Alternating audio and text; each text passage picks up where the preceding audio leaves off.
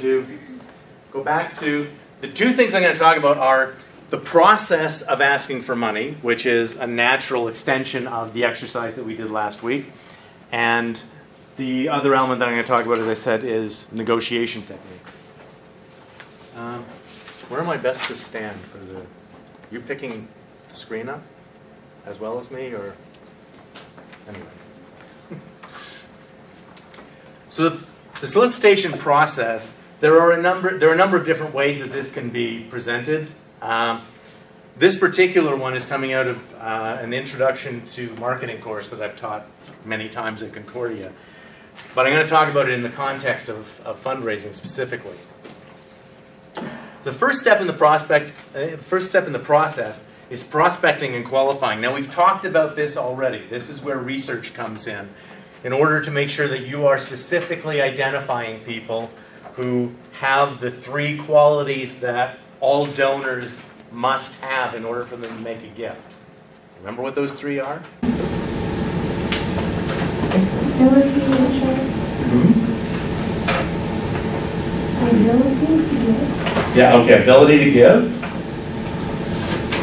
That's ability, which is the middle letter. Linkage. Linkage, which means what? Connection from the organization. Uh, not so much a connection to the organization, that could be an issue, but there's a more specific thing that you're looking for with regard to linkage. Connection between the cause and the uh, donor, Uh, the connection to the cause isn't, that's not linkage. That's the third element. Personal uh, in linkage? Sorry? Personal linkage or something like You're, you're close, you're on the right track there. Is it interest? The concern that Okay. you have. Okay, interest is the third element. Yeah. So we've got affinity, linkage, and interest are the three things. So going back to linkage, what are we looking for with linkage? A connection. Connection be- between the uh, cause and the donor? Uh, maybe between the cause and the donor, but there's a more important connection. With Sorry? individual within your relationship? Much closer? The connection between the donor and what, whatever he's funding, whatever he's contributing to. Mm-hmm. No, no, you're a little cooler. The connection between the donor and the person who's asking him for money? Right, that's what it is. Between the cause and the donor. The key element to linkage is the connection between the donor and whoever is asking the donor for money.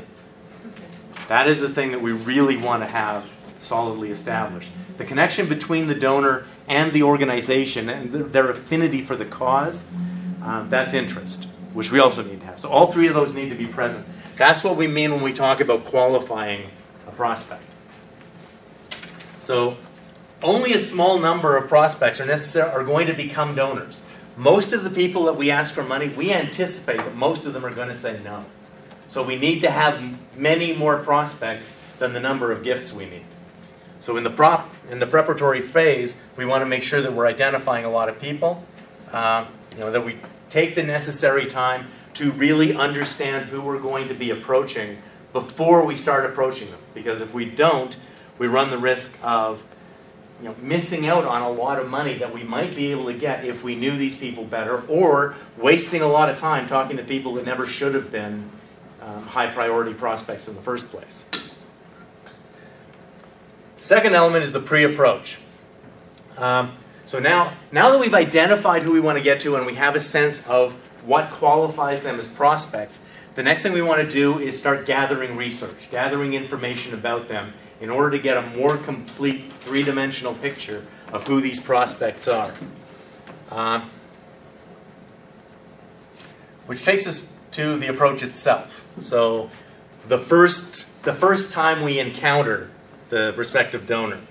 Um, so this will go into several critical things, but the most important one, and throughout the entire process, the single most important element of the solicitation process is shutting up and listening.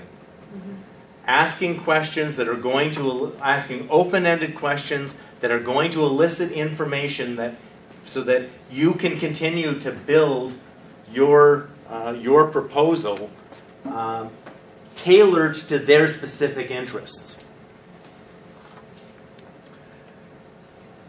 So as you continue to move on, presentation and demonstration. In the previous in the previous step, we were just in it's an initial getting to know you meeting. Now we're getting to the point where we're actually talking about what the organization does. Um, even here, though, you're still needing to concentrate on asking good questions and listening to responses. So, yes, you need to talk about the cause and what it is that you're raising the money for, otherwise, they're not going to know about it. But what you're really looking to, to come out of the meeting with is a clear sense of what their reaction is to that information so that you can then. Uh, so you can then adjust any follow-up communication with them such, such that it's tailored to what they're really interested in. Um, yeah, I mentioned that technology can help or get in the way. Uh, you know, a lot of organizations, for instance, will make videos, and people will, you know, in the olden days, we used to actually shoot them on videotape and you know bring and you know ask to have a video cassette recorder and a TV available when meeting a prospect, or maybe even sending them the video in advance. Today, we're just as likely to have the video, you know, electronically on, you know, on a tablet or a cell phone. But even at that, you're when you're showing a te- you know a technological tool like that, you're breaking the natural flow of a conversation. So the really critical thing, if you're going to use video at all, uh, make them really short. And when I say really short, I mean like 30 seconds, a minute tops. But you know, if you go in with like a seven-minute video, um, that's something you could have sent in advance. It's something you can send as a follow-up. It can be a really good follow-up to send if you've got somebody who has demonstrated sufficient interest that they'd be willing to sit through seven minutes of video. That's a really, really long video. Uh, but generally speaking, you want to keep video content short, and especially when you're in a solicitation meeting, generally I advise either not using it or using something really short and that is there for a strategic purpose. So, for instance, you might go in with a 30 second video testimonial from somebody who's a beneficiary of the cause. That's something that can have a real impact. Or something that, you know, or uh, similarly a testimonial from some famous individual who is supporting the cause to, you know, to, to emphasize the, you know, who is, you know, who's backing up this cause. You want to be prepared to handle any kind of objections that are going to come up. Frequently in campaigns, I'll put together um, you know, what is essentially a frequently asked questions list of potential objections that we're likely to encounter, along with appropriate responses to those. If we know that certain kinds of questions are, are going to come up, we want to make sure that volunteers, because we really want the volunteers to be the ones asking for money, we want to make sure that they're prepared in advance with canned answers to those questions so they're not going to get tripped up. Uh, so, yeah, there are various reasons why prospects might object. Um, in some cases, it may be because their, their interest in the cause hasn't been fully developed. Um, in some cases, it may be because they just want more information. Um, but sometimes it's just a negotiating tactic. And you need to be alert to that, that sometimes they're, they're just going to try to trip you up or find ways that they can avoid having to make a decision um, or to make a decision to give as much as you're asking for. You avoid getting objections in general by focusing the prospect's interest, by focusing the prospect's attention on, on their own philanthropic vision, on what they want to accomplish. This is why uh, when we, you know, when we start out, well, actually, I've skipped through. I'm going to, I'm going to skip back to something to, to explain what it is that we're, we're trying to accomplish in this, because I don't think I showed this. Uh, to show you the more, and it actually fits right into. This is the point where it fits in. Um, I want you to take a look at this next slide, okay? And I want you to Pay attention to what the slide is telling you to do and pay attention to what you're thinking about as you see this slide. And follow the instructions on the screen. Everybody got that? What are you thinking of?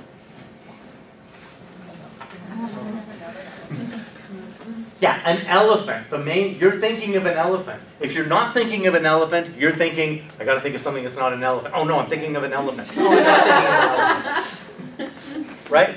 If I tell you don't think of an elephant, the only thing you can think of is an elephant. That's the only that's all you can we're, we're wired that way. It's a natural tendency.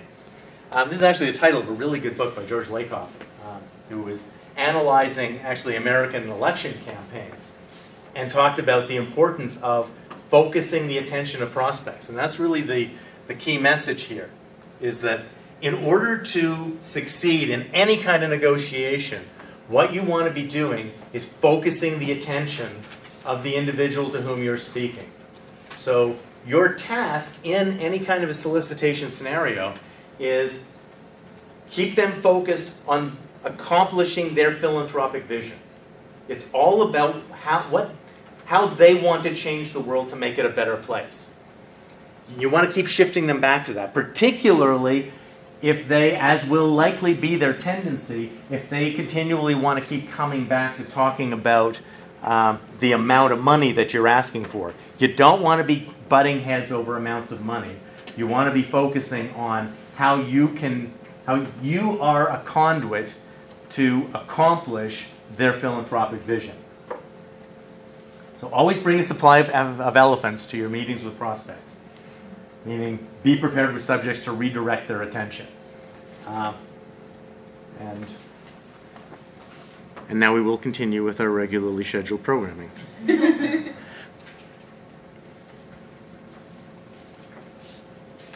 so, yeah. Can you give us examples of philanthropic visions? What, like what they might have, what visions that they might have, the owners? Okay, well, let me put the question to you. Uh, How many of you have made a donation to charity in the last six months? Very few. Okay. What did you give to and why? What was it, what was it about a cause that made you willing to give away your money for it? Was where I make the Wish Foundation about children who were like no hope for life at the end and to provide, to help them realize their dream and actually doing it. So to me, that was close to my heart, thinking about those parents and those children who will not have a chance to live any longer and Okay. their final phases, so it's close to my heart, so that's why I gave. Because Okay. I have a healthy, I have healthy children, and I cannot think for a minute that it would like, the life would be ending anytime soon, so. Okay. Make a wish for that information. Very good. Somebody else? What other, what else has, has motivated your philanthropic giving? You have your hand up? Uh, yeah, it was uh, a friend of mine, so he made the, yeah, the organization, so that's why I, I felt like supporting him. Okay, so, so you were giving specifically because of the relationship with the person who was asking you for money. Yeah, But was it a cause that you would have considered supporting anyway? not really, no, Not necessarily. not necessarily. Okay, so that's a good illustration of how a personal relationship in and of itself can lead somebody to make a gift. But what I want to concentrate on here is gifts that you made that in some way represented you trying to accomplish something that is your own philanthropic motivation. For example, example, getting to a cause, um, I give money a cause because of the, the earthquake victims in Haiti. Um, like we have an abundance of, um, stuff here. And I thought, I couldn't think that they were, there were still people living in makeshift homes since after the earthquake. And I, I donated them to the people who were going back to help rebuild. Okay. Are you in a position where you would be able to fly to Haiti yourself to Yes. deliver it? If I was able to volunteer my time, yes. Yeah, are you able to? Is this No, I something you have time to do? Well, Probably just on vacation. But I haven't done it yet. Uh, yeah, not on a day-to-day. My point being that Mhm. giving money to people who were able to go to Haiti and do that Mhm. makes more, like I donated when the Haitian earthquakes happened, and I don't anticipate ever going to Haiti. Uh, Maybe No. someday, but I don't think so. But it's still ongoing. But I'm happy to know that there are people that are prepared to go to Haiti and deliver that kind of aid. And so I'm willing to give money to the organizations that do that in lieu of going myself. Because I do have, you know, because part of my philanthropic vision is providing aid to people in desperate need. Yeah. Actually, it goes with exactly what you're saying, so I don't think it's very bad. Do, do you see now, are you getting a sense of what, what I mean when I'm talking about philanthropic vision? Uh, The vision, I mean, as a vision, it's not as a cause. Maybe just to help people or to, um, I mean, in the, for example, if, if my foundation is supporting kids, maybe you don't have an interest to support kids, right? I shouldn't approach you. Or, Yeah, you should have, yeah, right. If you're, if you are soliciting on behalf of an organization that works with children, Yes. and you've done your research and realized that, you know, a certain individual that has a lot of money doesn't give to, you know, youth-related causes, they shouldn't even be on your prospect so list. this is the philanthropic vision. So this is part of the, this is part of the research that you're doing in the first place. But if you are approaching somebody that has never supported your cause before, but has been known to support children's causes, getting them to talk about what motivated them to give to other children's causes will give you an idea of how to frame talking about your cause in a way that will make it appealing to them as well, According to the, according to their philanthropic vision. Exactly. Okay? So, the actual ask, as I told you last time, uh, usually we try to frame the ask in an open-ended way. You don't want to ask, you want to avoid using yes/no questions in a solicitation in all circumstances, because what you're trying to do is elicit responses from the other person. And even the ask um, should be phrased along the lines of, "What would you think about making a contribution of ten thousand dollars to this campaign?" What would you think about or how would you feel about? The answers to those questions are not yes or no. It's going to be, you know, some kind of an emotion, some kind of a response. There's something more to it than just a yes or a no. Um, another critical thing, though, is that once you've said that, once you've put that ask in front of them, the next thing you should say is absolutely nothing after you've made the ask, after you've put the number in front of them, shut up. The next person to talk has to be the prospect, not you. Don't make the, the cardinal error of putting a number in front of somebody. What would you think about making a contribution of $10,000?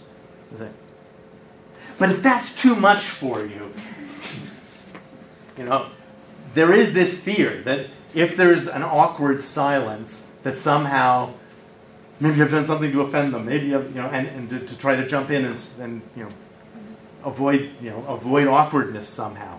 No. Embrace the awkwardness. Learn to love silence. Because that silence is a, it's a moment when they, yeah, it's kind of awkward. It's awkward for them too, but they're thinking about that number and they know that they have to say something and they may be sitting there thinking, I hope they're coming in with something else along the lines of, you know, I hope they're going to say the magic words, but anything you're willing to give is okay. Don't ever say that because that is not true. Okay? Anything you want to give is not okay. I want you to give the amount that I want you to think about the amount that I've asked you for. And if what you're thinking about is anything other than that number, unless it's greater than that number, which it shouldn't be if you've done good research, uh, I don't want you thinking about those smaller numbers. I want you thinking about the number I asked you for. So let them come back with a response at that point. That's critically important in the solicitation field. It is probably the single most important piece of information that I want you to remember about solicitations. Is when you ask for the always ask for a specific amount, always. If you ask for a range, uh, you know, if you ask somebody, you know, what would you think about giving five thousand to ten thousand dollars? How much money did you just ask for? $5,000. If you're asking for a range, you asked for the low end of the range. So just ask for the amount that you want. If what you want is $10,000, ask for $10,000. Second thing is, when you put that number in front of them, shut up. They have to be the next one to talk. And their response is likely, the most likely responses you're going to get are things along the lines of, uh, that's a lot more than I was thinking of giving, which is kind of what I want to hear. Is that I've asked them for something that's, you know, a little beyond what they're what they were thinking of. In which case, I just re-ask the question. You know, what would you think about what would you think about making a donation at that level? Because that's what I really want to know. Yeah, it's a lot more than you were expecting. That doesn't surprise me. But if they're not coming back and saying that's more than I can afford, if you've done your research well, they shouldn't come back saying that's more than I can afford. They may say that's more than I was expecting you to ask for, or more than I was anticipating giving to this particular cause. Then you're in a position where you can start steering them back towards their vision and you know towards the impact that they can have. So, you know, and I will always come back to that same number. I never come down. I don't come down from that number right off the bat.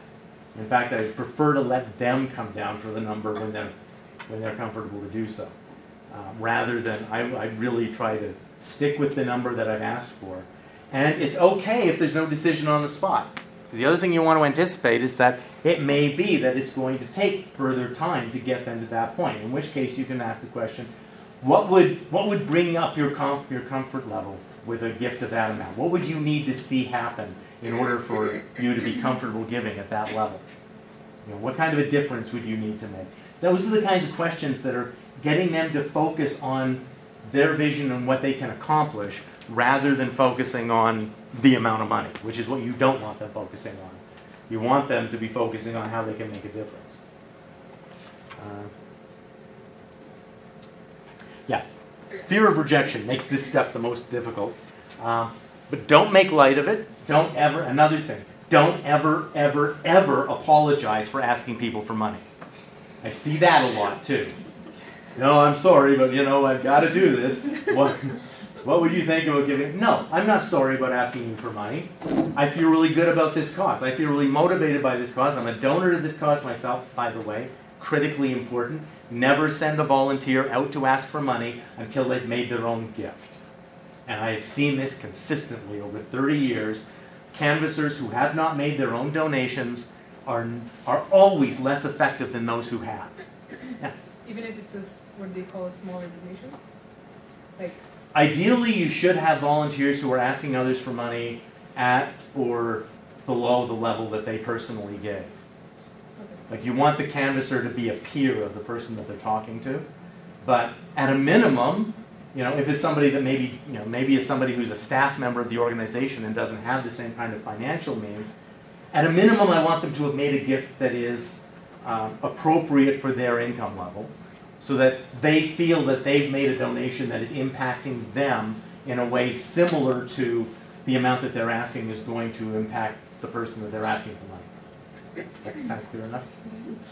Um, but, in, but, but that's critical because you want to make sure that they feel comfortable, that the canvasser feels comfortable pushing the person to make that gift. Um, yeah, so don't be apologized. There's no apology to be made. This is a good cause. You're a philanthropic person. You give to good causes. I know this. I've done the research. I've seen, and you've talked to me about it. So this is the kind of cause that you would normally be supporting. So I'm not apologizing for asking you to do something that you have already done in other circumstances. That I know, I know this is something you do, and I am, I am doing you a favor by giving you an opportunity to realize your philanthropic vision by contributing to this great project. You don't want to put it in exactly those words, but that is, but that's got to be the spirit in which you're going into the, the encounter.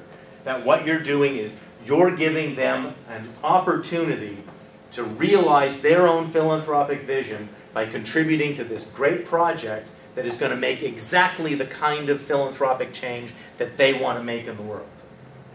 You've got to, you got to pitch it such that it's the greatest thing in the world for them to be having the opportunity to give to this cause.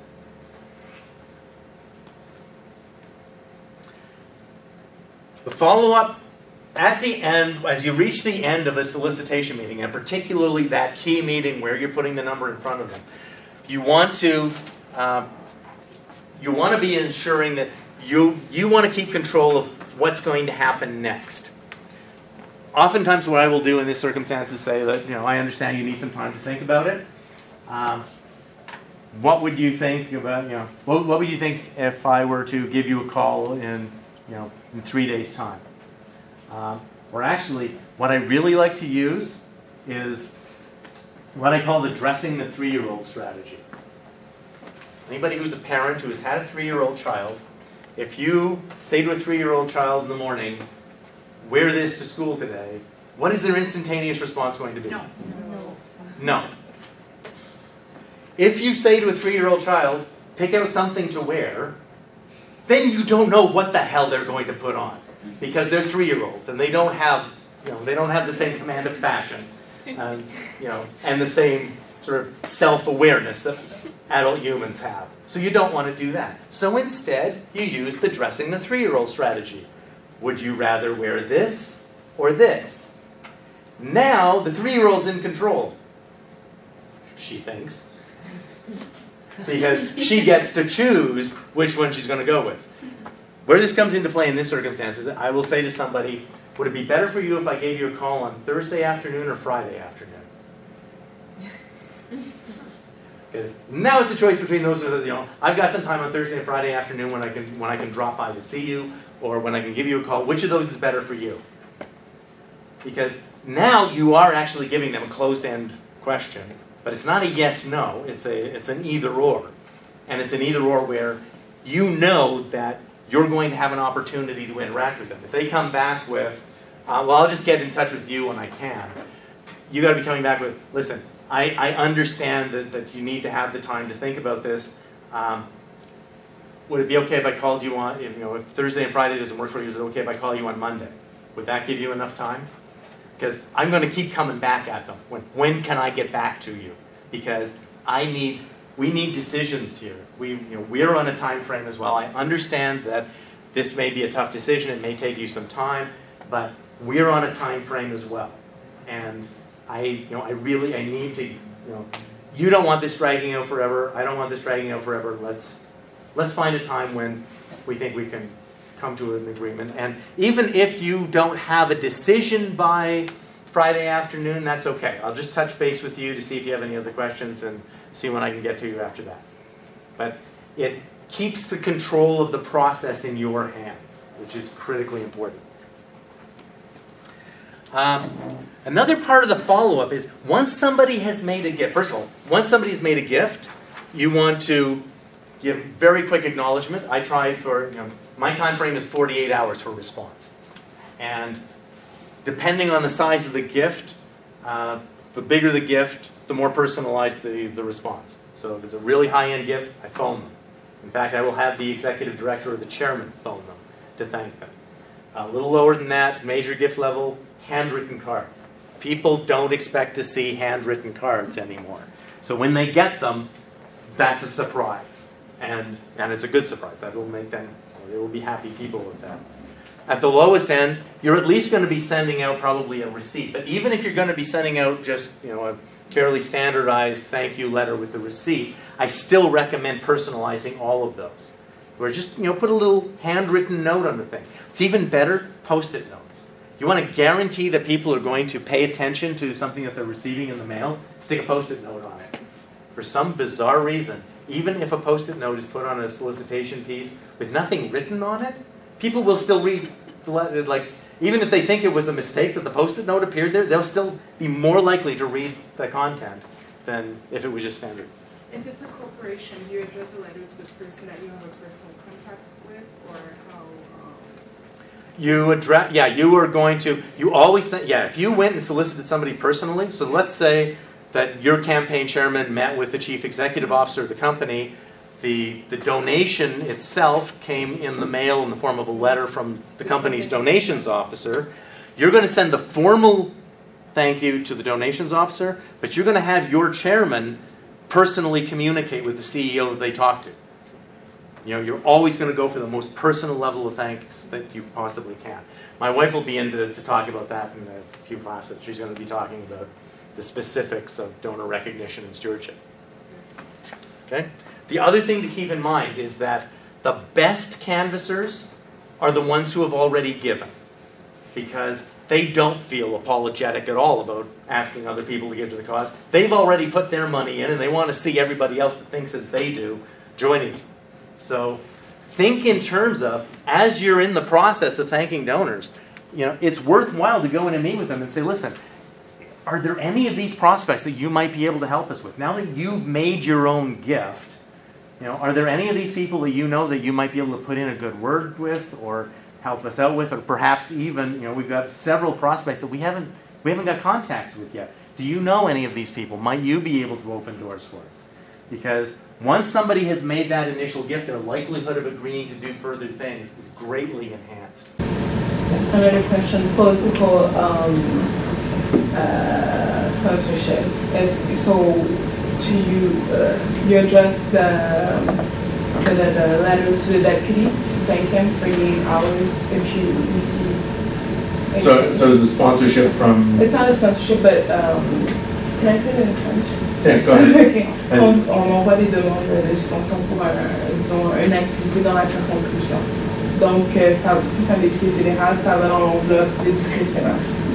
Okay, so you're, so you're asking if you're getting a donation from a political representative, Yes. somebody who's a member of the National Assembly, member of Parliament, a city Yeah. councillor, you thank them personally? Yeah, or you And- can, because sometimes can be in touch with um, the, la, celle qui est responsable des relations Yeah. communautaires, ou how, You, you always, always thank the person with whom you have the most personal relationship. You can thank many people. Well, that's one thing to keep in mind. You can't say thank you too many times. In fact, the rule of thumb is that any, any gift, within a year after a gift, you should be thanking them seven times. Now, those thanks don't necessarily have to be thank you letters. It could be providing information. It could be in, you know, calling up to invite them to an event.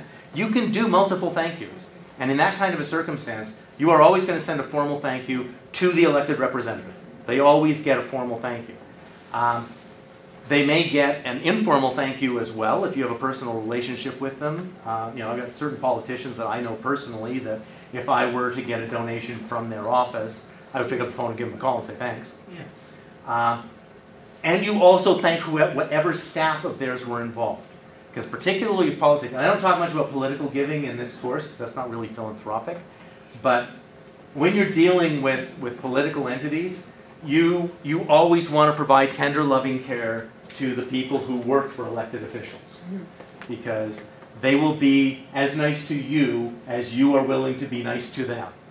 And so, and they spend a lot of their time, political attaches spend a lot of their time listening to people complain. So they tend to be very, very receptive to hearing from people who are calling to say thank you. And that will make them more receptive the next time you need to ask them for money. And there will always be a next time. Okay? So, any, any last questions on process? Okay. The next bit that I'm going to do, uh, this is the presentation that I have given the most frequently in professional conferences. And these are the actual slides that I use to do that. I I've got this standard presentation on negotiation that I've done numerous times. Uh, and the next, so this next bit is actually, is that actual presentation as I've given it. And this is the last thing I'm going to be talking about with regard to negotiation before we go on to taking a look at evaluation. So psychology of persuasion is built on work by Dr. Robert Cialdini. He's a psychologist from Arizona State University in Phoenix. And what Cialdini did was what's called meta research or meta analysis, where he was looking at numerous studies that had been done, numerous um, scientific studies that had been done on the subject of persuasion, in order to try and find common threads. Find what are, you know, what are the common threads that make a message more persuasive. And coming out of that, he identified six key tools that will tend to make any communication carry more weight. Those are social proof, liking, reciprocity, scarcity, authority, and consistency. I'm going to talk about each one of them. You will want to remember these, and all six of them. There is an article by Bob Cialdini in the course pack. Um, for some reason, in the article, this is the only article I know of that he's written where he has applied his own work to philanthropy, to charity. Um, although I have heard him, I have you know, attended one of his workshops that was sponsored by the Association of Fundraising Professionals. He's another one of these people that if you get the opportunity to go to a workshop led by Dr. Robert Cialdini, jump at it. He's really, really good. Uh, but he has six tools. I expect you to know all six. For some reason, in the article um, that you got in the course pack, he only talks about four of them. And he left out two. And I don't know why he left them out, but I expect you to know all of them. And in order to ensure that you do, on the website, you have, in addition to my slides, you also have the handout from when I did this presentation. I think it's the version from Baltimore.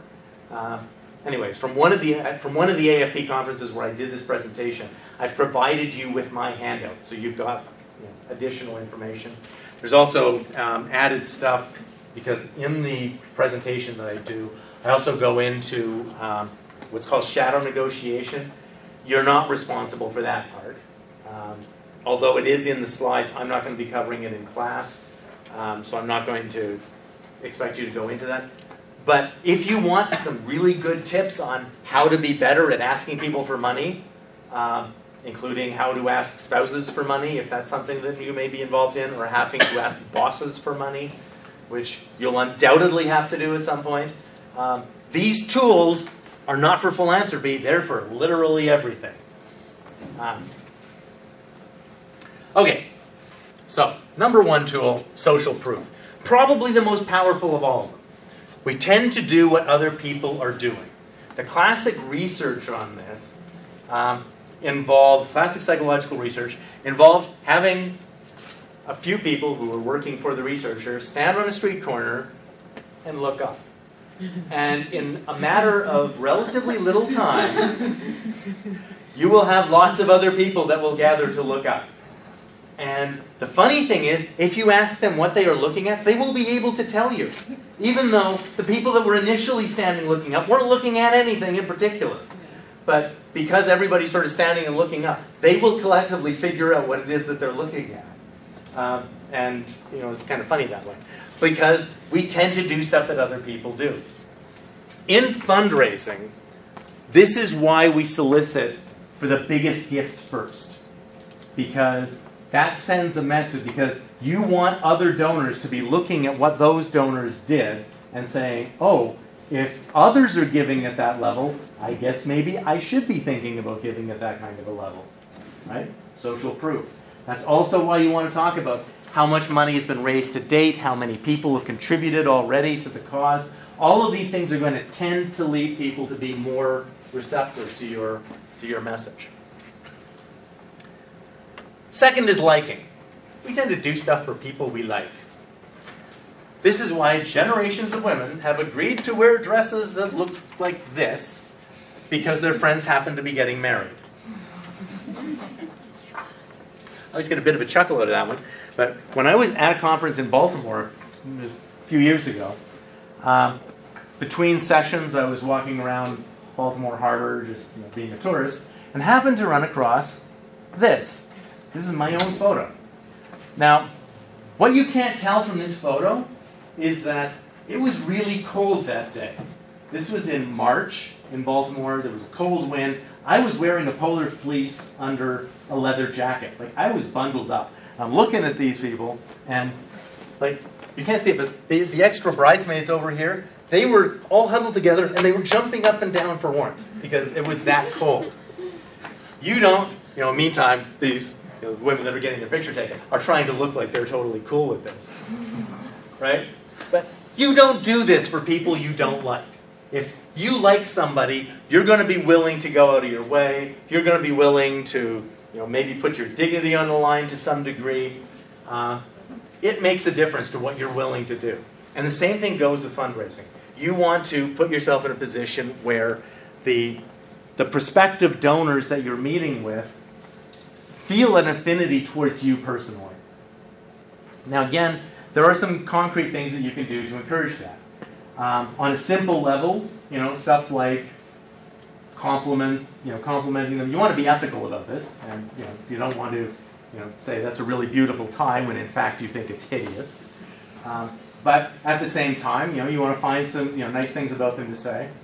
More importantly, you really want to get people to like you. Give them an opportunity to talk about their favorite subject.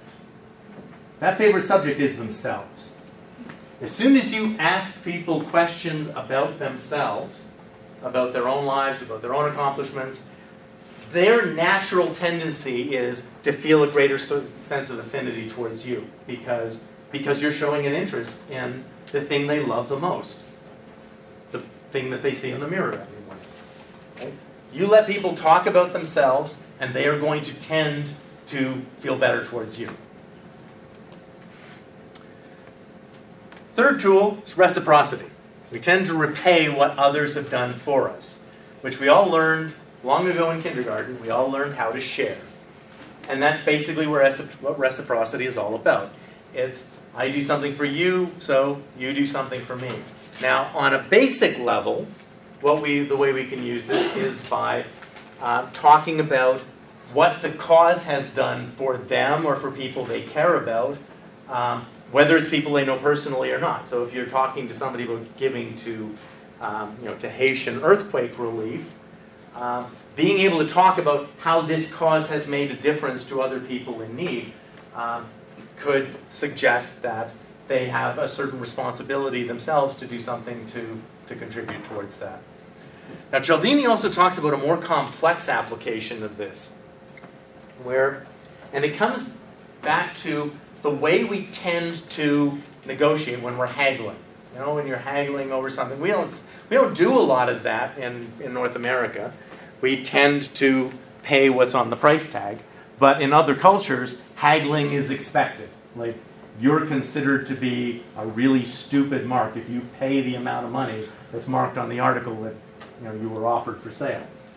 You know, some we, we get used to that, and that is actually an exercise in reciprocity, because what you're doing is you're making an offer at a certain level, they're giving a counter offer at a lower level. If you're willing to come down slightly from your initial level, effectively you've just given something to the other party. And it is now their responsibility to give something back to you. Now, I don't recommend in a solicitation getting into, you know, a haggling back and forth over numbers.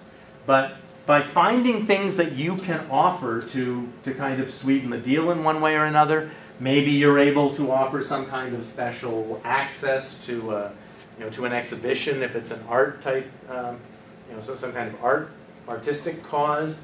Um, maybe it's some kind of, uh, you know, special signed copy of a book that's associated with the cause, like something that you can offer. If you're able to offer something additional, then they are there's an expectation on their part. There will be an expectation, a natural expectation on their part they should do something in return for that. Okay? So that's reciprocity. That's number three. Number four is scarcity.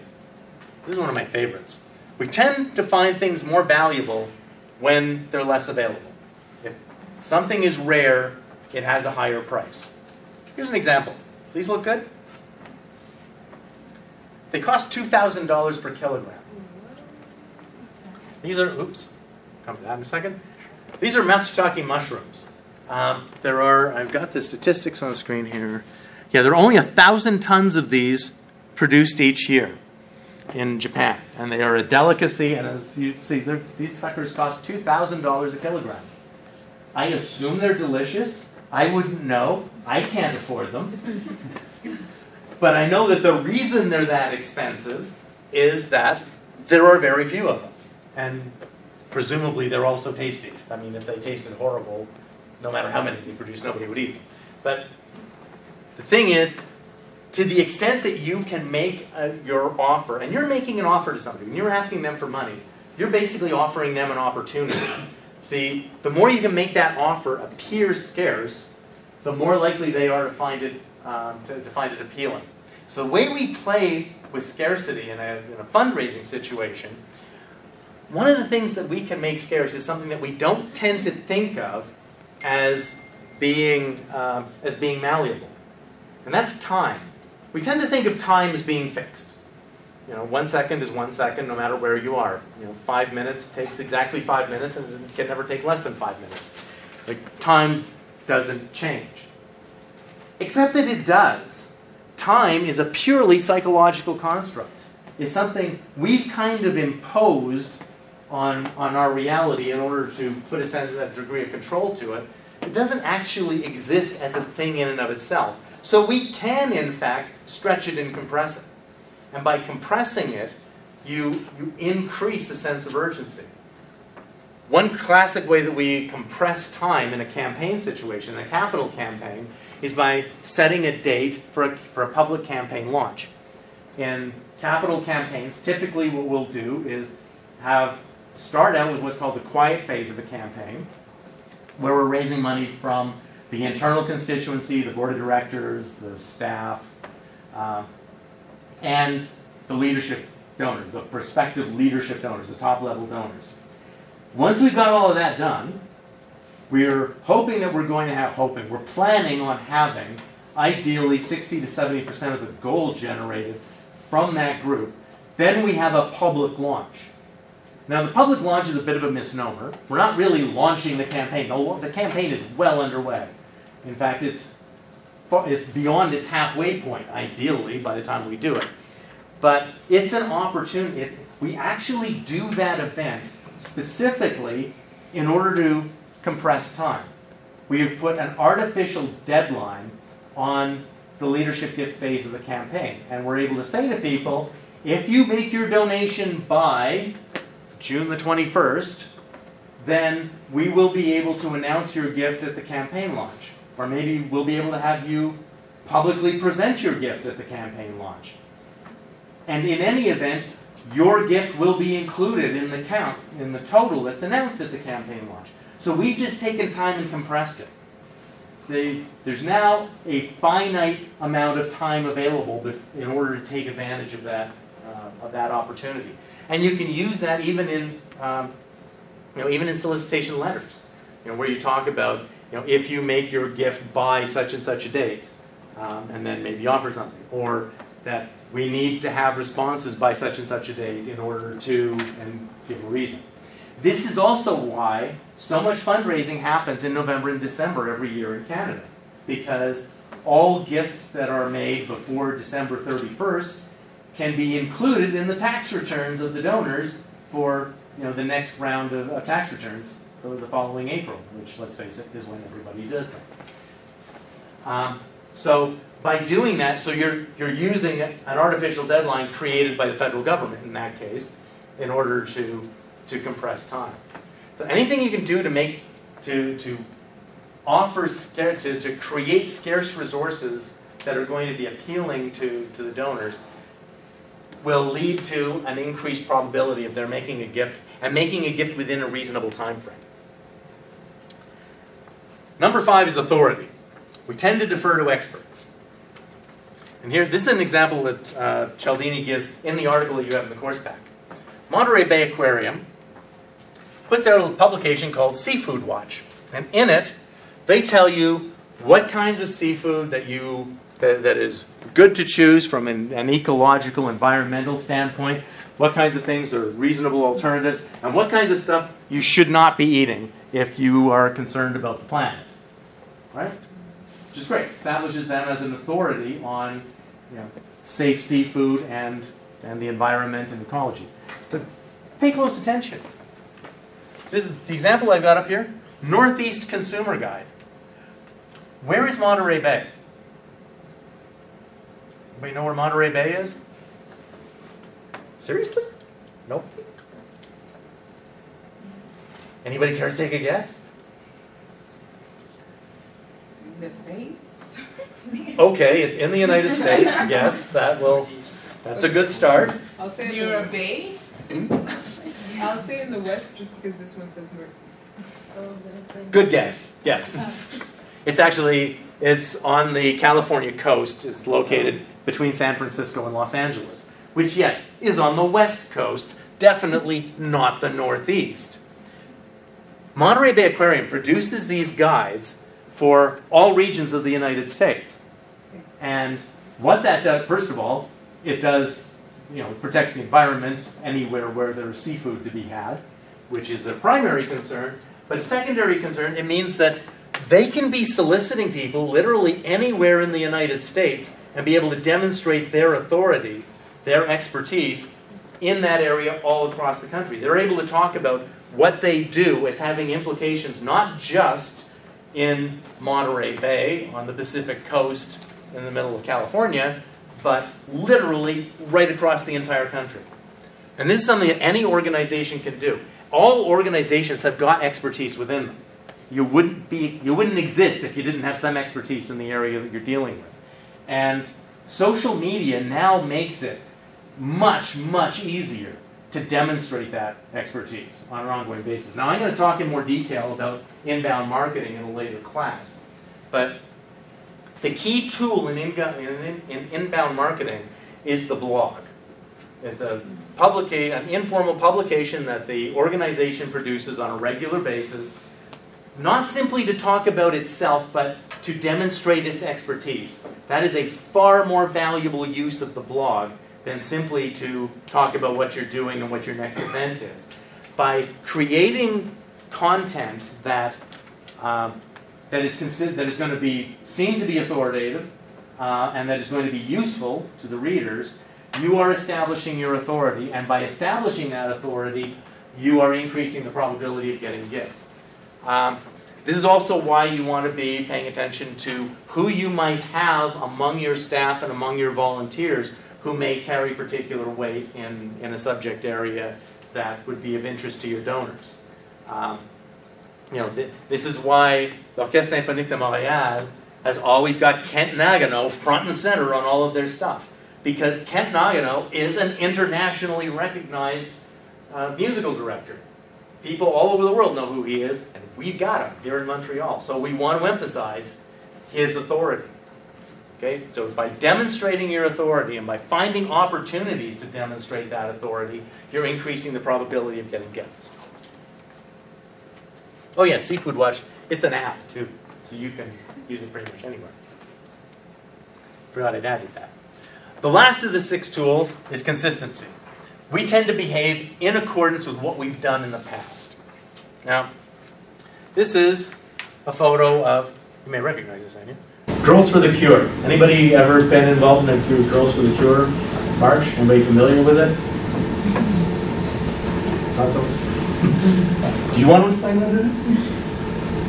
Just march up Mount Royal and raise money for breast cancer awareness. Yeah, yeah, so and it's all it's all private schools, isn't it? All private girls' schools. Yeah. Okay. Yeah, independent schools for girls. So Miss Edgar's and Miss Cramp's, Trafalgar, the Study, Villa Maria. Uh, yeah. So all of these schools get together and once a year, and they do this march, and they all have matching T-shirts to wear. And in doing this, they generate revenue for breast cancer research. Now, here's the point I want to make, though. These girls are all involved in a fundraising campaign. They're involved in raising money for charity. They are going to tend, we know this from research, that they are going to tend to be receptive to becoming volunteers and donors as adults. Because we know from research that if people have been volunteers as children, they are massively more likely to be volunteers for charitable causes as adults. And that's because of consistency. Because we see they are all going to see themselves as people who go out of their way to do good things for good causes. And, you know, in fact, I, I know ECS really well. I worked there for a couple of years. Enya was there for 11 years. Um, and, and I know that it's something that is heavily emphasized by the school. The, the, the idea of giving back to the community and philanthropically supporting the community, all of that. And a lot of schools are emphasizing that kind of thing today.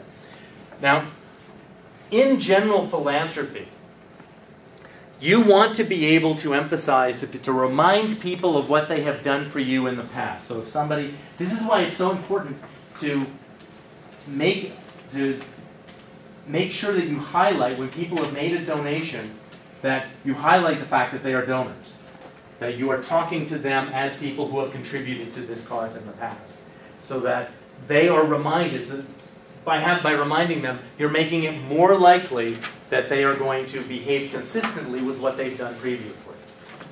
Similarly, if you're approaching somebody for the first time, going in with some kind of a low level request that is easy for them to say yes to will tend to make them more receptive to answering positively to future requests.